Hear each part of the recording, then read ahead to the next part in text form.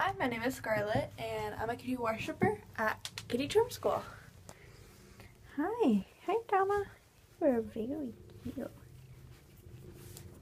Oh, I know. Zeus is staring at me right now.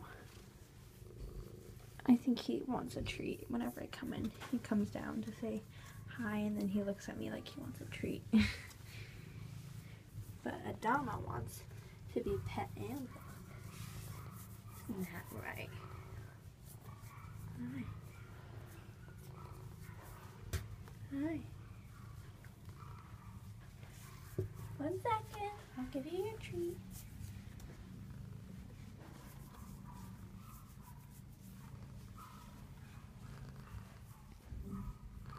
Hi. Kitty meow.